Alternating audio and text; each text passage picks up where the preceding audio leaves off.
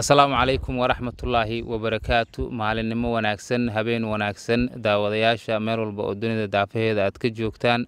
Waa anigoo ah freelancer cabdi faarax waxaa garabkayga fadhiya saaxiibkay cabdirashiid dhanaane waxaana maanta doonaynaa in aan falanqeeno weerarada ama weerarkii ugu dambeeyey ee ka dhacay caasimada soomaaliya ee muqdisho ee dalkii hooye ee soomaaliya.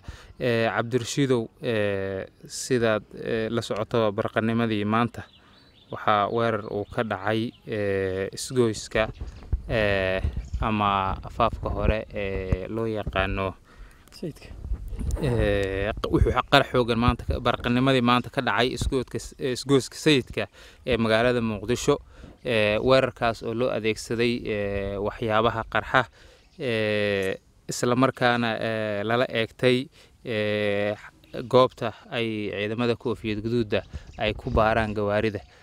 Qaraxaasi ilaa haatan waxaa la xaqiijiyey ku dhowaad shan qof in ay ku naf waayeen dhaawacna uu jiro gawaari kale oo ama hanti kale oo iyaguna khasaare soo gaartay.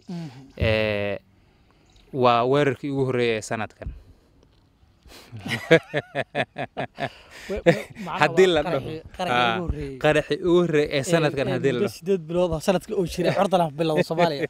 Magaalada muqdisho ka bilowday. Marka la dhaho cabdirashiid marka weerarkii ugu horreeyay ee sanadkan marka la dhaho waa xoogaa in nafis la dareemaa laga yaaba loo malayo weerarka ugu horreeyay sanadka marka in muddo laga soo wareegay laakiinse sanadkan baa wuxuu jiraa sideed sideed beri. bes ayuu jirsaday waxaana dhowaan weli noo sii muuqda weerarkii ka horreeyey dad badan. ka dhacay marka muddo gaaban gudaheeda in mar kale uu weerar ka dhaco caasimada dalka soomaaliya ee muqdisho haddana ay tahay meeshaasi waa meesha lagu baarayo dadka gelaya madaxtooyada. Marka in weerarkii markii hore joogay xitaa muddo dheer dhici jiray ama yaro fogaa in haatan uu afaafkii hore ee madaxtooyada uu u sii siqaayo ayna si isku dabaxoog u dhacayaan arrimahaasi maxaa dhalin kara ayaa las karaa? Dhawow waa mahadsan tahay cabdi faarax freelancer iyo dhammaan akhyaarta nugu taxana ee naga dheexanaysa dhanaan media iyo gaarisa media waan ka xunay maanta. Akhyaartii kale waa naga maqan yihiin. Waxaad nooga barateen inaan dhowr qof aan intaba barnaamijyada ku falanqayno. Ciidan baan ahayn tiim baan ahayn. tiimkii maanta waxoogaa waa la yara kala maqan yahay. Gaarisa naftarkeeda tacsi baa lagu jiraa ku jirnaa. Oo reer gaarisa maanta qayb ka mid reer gaarisa maanta tacsi bay ku jiraan. Shalay maalin waxay ahayd madow oo carruur dhalinyaro ah iskuulley ah ayaa magaalada korkeeda lagu laayay marka labaan ku nahay maanta cabdi su'aashaadii ahayd arrimaha qaraxyada soomaaliya ee weliba magaalada muqdisho see la dhihi kara soo durk ammaanku sii xumaanayo. Horta cabdigow saan ognahay magaalada muqdisho waa hooyada caasimadda dalka soomaaliya dad badan oo soomaali ah oo qurbaha ku maqan ama dadka dalka darisyada la mid ama ethoobiya ama kenya ama meelo kala joogaan aad waxaa dhici karta insan u aqooninba magaalada muqdisho. Horta magaalada muqdisho waa magaalo weyn. Waa bahallagaleen waa magaalo wax walba qarsan karta. Waa magaalo lagu wada nool yahay. Waa magaalo miskiin munaafiq muslim mu'min wax kasta ay ku jiraan. Waa magaalo ay isku hayaan dad afkaaro kala duwan iyo dowlado kala duwan iyo balaayo baa dhex fadhiya magaalada. Dowladda soomaaliya iyo nimankan la yidhahdo ururka xarakatu shabaabna keligoodna meesha kama howlgalaan ciidamo ajnabi baa jira oo amisoom ah. Kuwa maraykan baa jira. Kuwayaalo kalaa jira oo sirdoon iyo israa'iil iyo jin iyo balaa ka buuxa. Niyo marka meeshaasayto dhibaatadeedu saan ka warqabno qaraxii ka dhacay labaatan iyo sideedii diseembar sannadkii hadda aan soo dhaafaynay toban beri ama koo toban beri ka hor baa la odhan karaa. Dadka badan ku dhinteen dowladda soomaaliya ee sirdoonkeedu waxay u saariyeen oo dhaheen waxaa ka mid waxaa gacan ku lahaa qorsheynta qaraxaasi wadan shisheeye.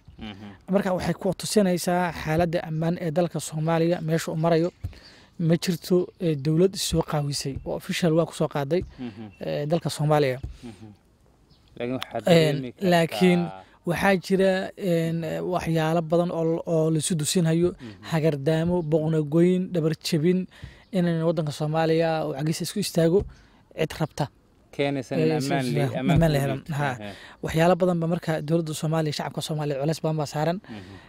nimankan ee duurka ku jira dagaalamahaya naftirkoodu. Dee waa niman naftirkoodu culeys wuu saaran yahay. Mhm. oo waa kuwan had iyo habeenba dadkan ay laynayaan. Mhm. oo ma suurgelayso inay gaadhaan dadkay rabaan.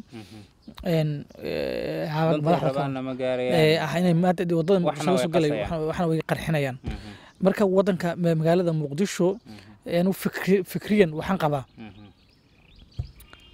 fikir ahaan anigu waxaan soo jeedin lahaa in horta caasimad laga qaado Mhm. in muddo ah. Waa caasimadii hooyo. Maya si official ah lagala noqdo. Eh, malihi oo wadanka muqdisho waa ka- capacity-geeda waa caasimad. Meesha wax laga soo dejinaya madaarka baa ku yaalla madaxtooyada baa ku taala iyona waxyaala badan ku yaalla Mhm. isla same berigii dowladda soomaaliya aan lagu dhisay imbagaasi lagu dhisay dowladda cabdullaahi yuusuf Mhm. een, waxaa laga dhigay xarun ee baydhaba.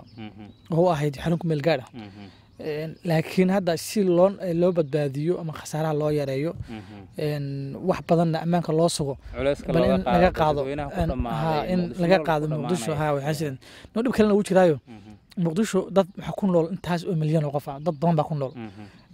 Dad fara badan waa dad meel zaxmadeeda iyo ciid soomaalida o dhan baa iskugu tagtay dadkii beeraha ganacsan jiray beerihii waa laga ciidhoobay Mhm. xoolihii waa iska dhammaadeen horumar kale male marka magaaladaas ka soo galay Mhm. marka dadka hadda waxaan fiirsanaya xalay Mhm. aad oga naxay wiil aan u malaynhayo inuu yahay dadkan soomaalida soomaali baantuuda ah waa haddii aan khaldanayn dabcan markaan lahjadiisa ka fiirinayay bay ila noqotay. Wuxuu ka mid ahaa dadka ku dhaawacmay qaraxii ex control.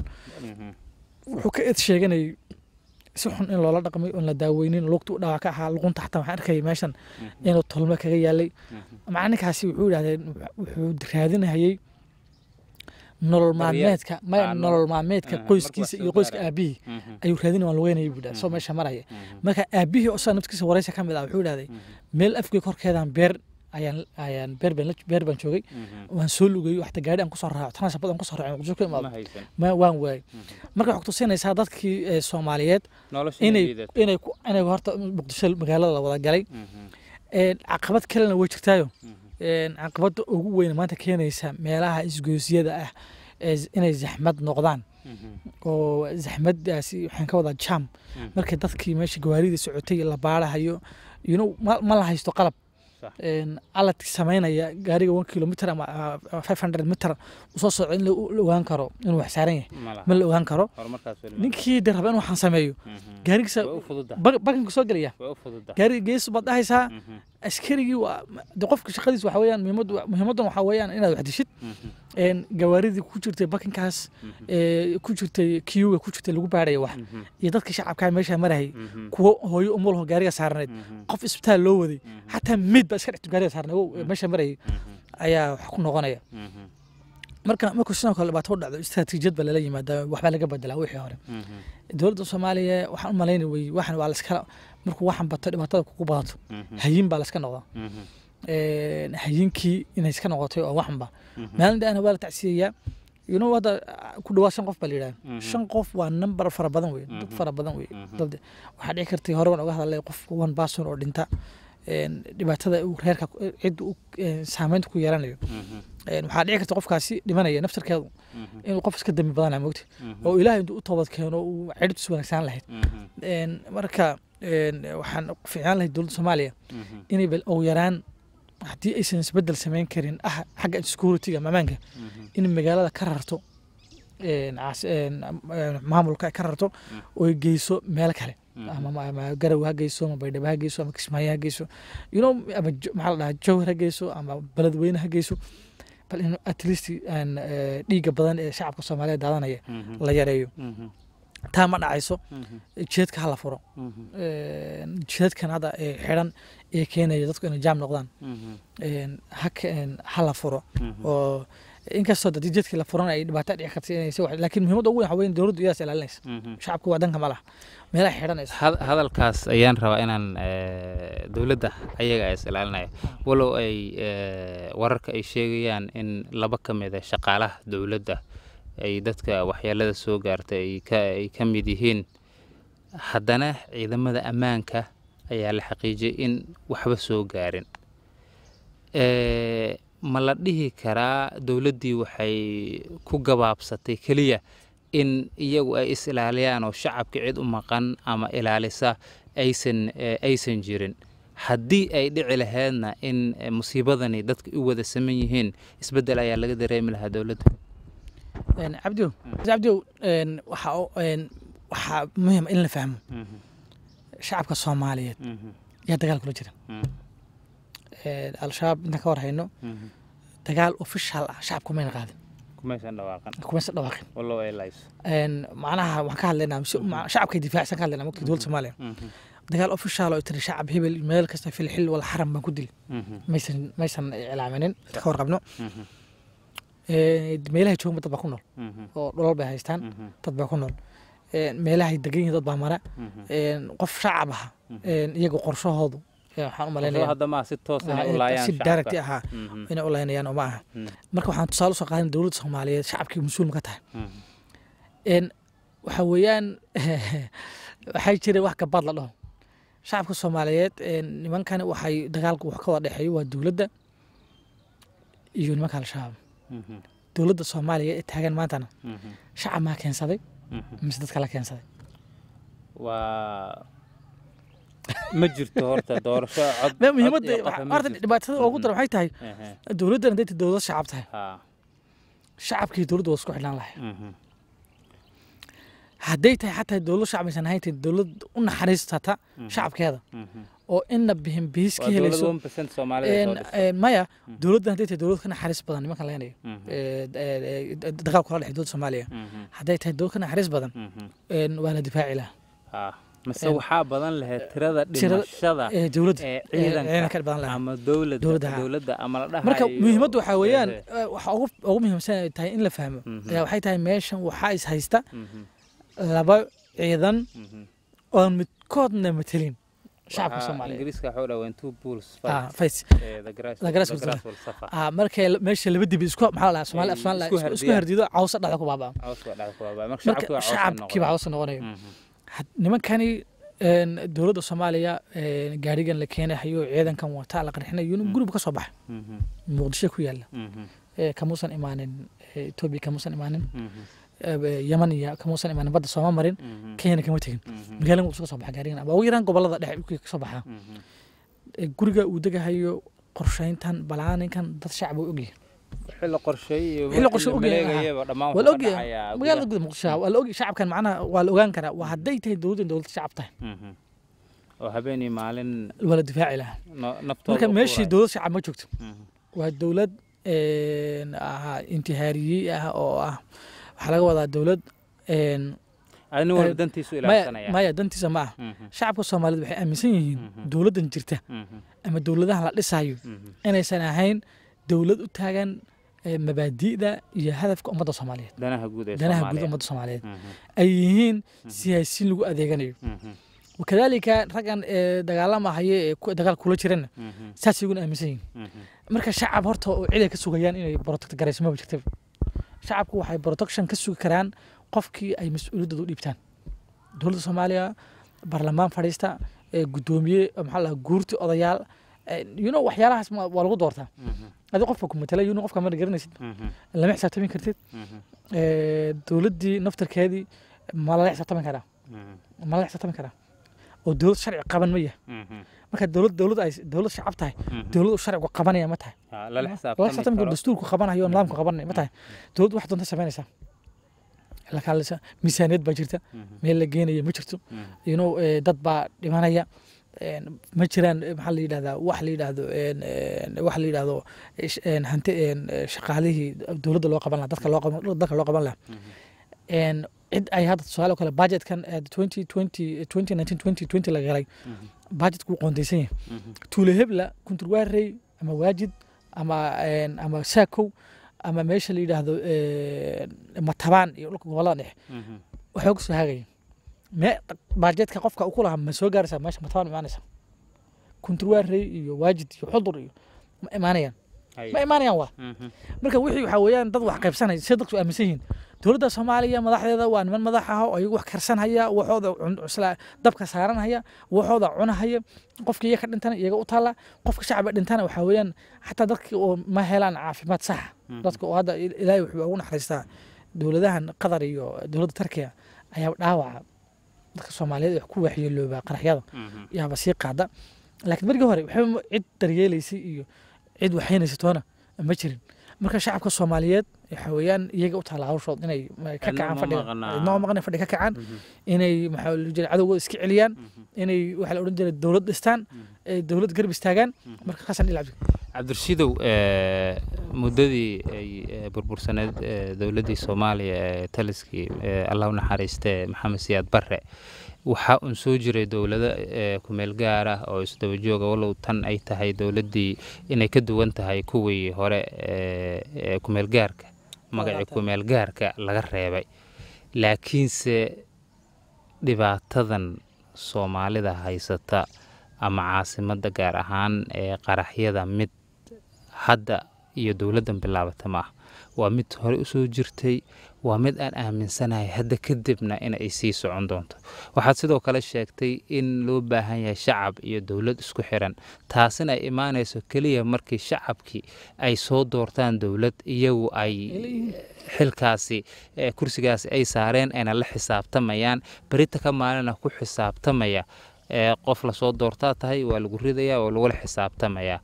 Marka maxaa u xal ah soomaaliya? Miyay u muuqataa dowladdan hadda jirto haddii ay dhacday iyo haddii ay soo gashaba miyay muuqataa eh, in la gaaro xilli ay shacabka iyo dowladda wada xisaabtamaan?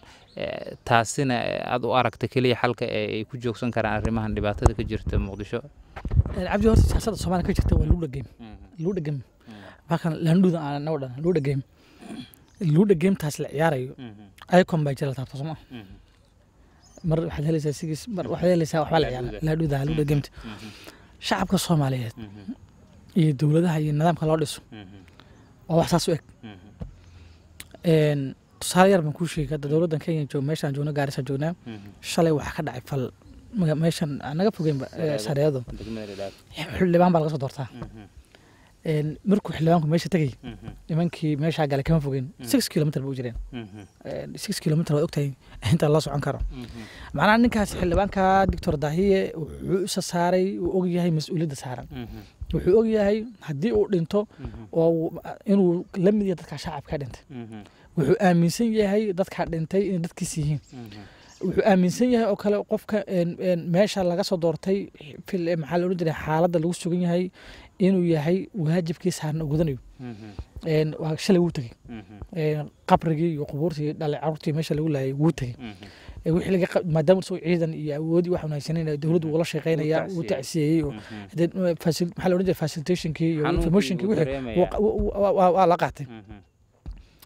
Ninka laga soo doorta m c a ga aan dhahro tusaale laga soo doorta wadajir ama howlwadaag ama hodan. Gudoomiyaha degmada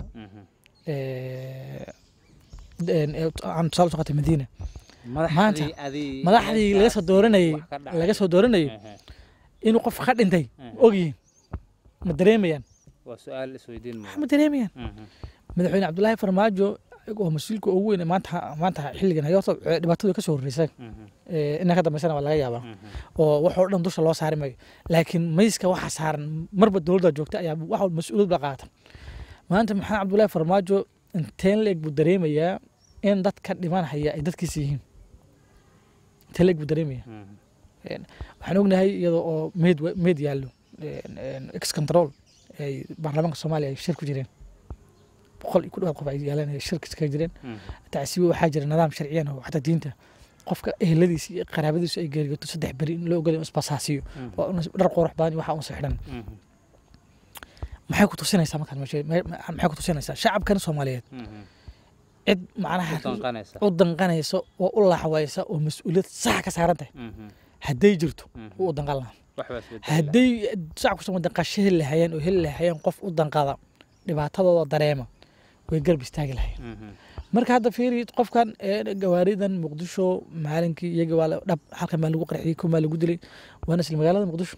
Magaalada muqdisho kama badno forty kilometer maanta waa la tacsiyey berri waa la iloobi bila tawfiiq taas waa marka muhiimaddu waxa weeyaan shacabka soomaaliyeed ee wadanka soomaaliya ku dhaqan ee jooga wadanka soomaaliya dadkii lahaa ah horta inay dhintaan oo ciiddooda ku dhintaan oo aysan ka bixin waa wax fiican ciiddaada in lagu dhiiggaagu ciiddaada cabto Mhm. intii dhiiggaaga ku dhiclaa meel kale Mhm. ama sii ee, ama ee, intay bad ku dhimato hilibkaaga uu xayawaanka xayawaan foreign malay bad kale jooga oo cuni lahaa Mhm.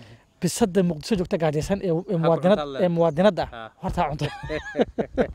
Aad baad u mahadsan tahay cabdirashiid daawadayaashanada meel walba ay joogaan dunida daafaheeda halka aad naga daawanaysaan ama aad nagala socotaanba waa youtube-ka dhanan media iyo sidoo kale gaarisa media. Saaxiibkay cabdirashiid iyo anigoo ah freelancer cabdi faarax.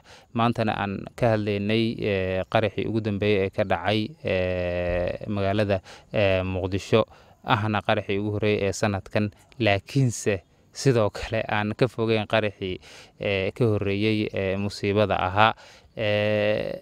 Gunti iyo gebagabadii cabdirashiidow aniga naftirkeyga waxaan aaminsanahay inta laga helayo madax ama dowlad u danqata dadkeeda oo xanuunka dadka ay dareemayaan dareemayso. Waxaa la dabka xanuunkiisa ruuxa aan dareemeynin ee ma haa dambiskiisa kama leexdo. Marka waxay u eg tahay cid walba oo soomaaliya maamusha ama madax u noqota in wax dhibaato aysan soo gaarin. Taasna ay keenaysa inaysan dareemeynin xanuunka iyo dhibaatada ay marayaan shacabka. Ilaa taasi ay ka dareemayaan oo shacabka xanuunka la qaybsanayaan ama ay jirto eh, silxqaam kale oo cabsi ama ama mas'uuliyad ah in qofkaasi lala xisaabtamayo. Sidoo kale waxaan aaminsanahay in wax isbedela uusan jiri doonin balse annagu waxaa un eh, nagu filan ama tabartaanada ah inaan u duceyno dalkani soomaaliya iyo dadka ku noolba in ilaahay uu si deg dega eh, xasilooni iyo deganaansho uu dib ugu soo celiyo dalkeena hooyo. Intaa ayaan barnaamijka eh, maanta ku soo gabagabeynaynaa eh, tan iyo kulantideenna xigta.